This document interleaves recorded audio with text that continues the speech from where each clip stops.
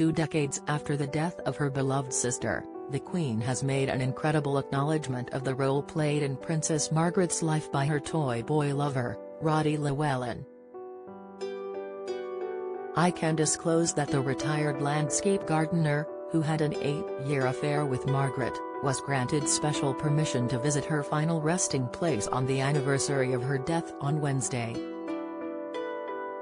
Llewellyn, 74, paid his respects to her in the King George VI Memorial Chapel in Windsor. After the princess's death in 2002 at the age of 71, her ashes were placed in the tomb at St. George's Chapel to rest alongside the remains of her parents, George VI and Queen Elizabeth the Queen Mother. Sir Roddy, who inherited a baronetcy upon the death of his brother, Sir Dai Llewellyn, in 2009, has turned down many lucrative offers to divulge the secrets of his relationship with Margaret. Their affair, which was revealed after photos of them embracing in Mustique in the Caribbean were published, hastened the end of her marriage to celebrated photographer the first Earl of Snowdon. Sir Roddy, who now lives in a village in southwest France, had apparently asked for permission to visit Margaret's grave. The Queen is the only person who can grant access to the royal family's tomb. Going to Windsor was an enormously important moment for me, he told friends at a reception following the Chelsea funeral of conservationist John Rendall, at which Roddy was an usher. After two years of having absolutely nothing in my diary, I had two crucial dates, to go to St. George's and to be at John's funeral. Very kindly, Mel, Rendall's wife, moved the time of John's service so that I could go to Windsor in the morning and be at his funeral in the afternoon. Sir Roddy went on to describe how tiny the space was in the royal crypt, observing, I don't know how there will be space for the Queen, there's hardly any room next to King George and the Queen Mother. He added that it had been Margaret's express wish to be cremated, and that she did not want to be interred at Frogmore, the normal burial ground for lesser royalty, which she viewed as too gloomy. Thus, on the day of her funeral, the princess's body was driven from Windsor Castle to Slough Crematorium for a municipal cremation. She was simply listed as number 8 at the crematorium. Can you imagine that? exclaimed Sir Roddy. He was 17 years her junior when he met the princess at a house party in Scotland and they began an affair. The couple were criticized after they were snapped at her Caribbean villa, with one headline blaring, Give up Roddy or quit. The Queen was said to be despairing of her sister's gutter snipe life but Margaret refused to end the relationship.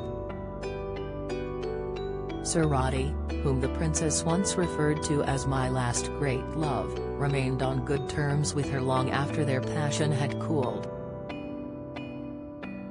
In 1981, he married Tatiana Soskin, an old friend, and Margaret became a regular visitor to the couple's home in Warwickshire. One of the princess's closest friends, Lady Anne Glenconner, said, after Princess Margaret's funeral, the Queen said, I'd just like to say, Anne, it was rather difficult at moments, but I thank you so much for introducing Princess Margaret to Roddy because he made her really happy. Nicole proves blondes have more fun. Will Nicole Scherzinger still be recognized by her rugby star boyfriend Thom Evans? The pop singer, 43, has undergone a dramatic makeover, with her usual dark hair dyed blonde. She's shared this photograph of herself in a striking one-shouldered red dress slashed to the thigh. Scherzinger explains that she's having a little fun. Let's hope that former public school boy Thom, 36, likes the transformation. Has been going out with the one-time X Factor judge since 2020. She was previously courted by Formula One champion Lewis Hamilton. Kate's in the doghouse. With her cat look out Kate Beckinsale, or you'll be in trouble with pet lovers. The Hollywood star has been accused of causing distress to her cat, Willow, after sharing a video of her wearing a life-size poodle mask while on all fours. The white Persian cat can be seen retaliating by clawing at the snout of Beckinsale's mask. Your cat is going to need therapy, chides one fan. The daughter of late Porridge star Richard Beckinsale jokes, so, we're not getting a poodle. Cat videos are a sensitive subject after West Ham footballer Kurt Zouma was seen drop-kicking and slapping his pet Bengal Moggy. Beckinsale, 48, has signed a petition calling for him to be prosecuted. Get flexible with Yogi Viscountess fancy stretch class with Britain's most flexible aristocrat? I hear Julie Montagu, wife of Viscount Hinchingbrooke, heir to the 11th Earl of Sandwich, is now qualified to teach yoga online. The American, 47, who starred in the reality TV series Ladies of London, was accredited by the Yoga Alliance following 200 hours of training. It's brilliant, she says. Even just 15 minutes can give you more energy yet make you feel more tranquil. Any takers? Jamie Theakston had his application to build a trendy outhouse in his garden rejected by planners last month after neighbors claimed it was an attempt to create a beds-in-shed-style facility. But the actor and presenter, 51, is not taking it lying down, as he has now filed an appeal. Locals said the plans at his £6.5 million 5 million house in West London were excessive in size and harmful to the wider conservation area. Self-important BBC presenter Nick Robinson says has barely recognised since he underwent an eye operation which meant he no longer needs his trademark specs.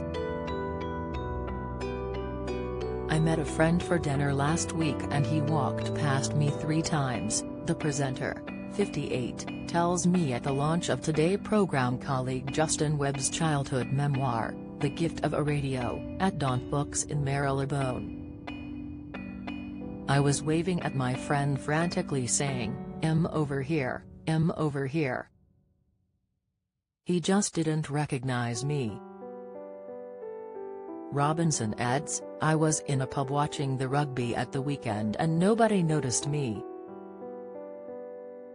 Then, when the game finished, I put my glasses on and a bloke over the other side of the bar shouted, It's you. I knew it was you.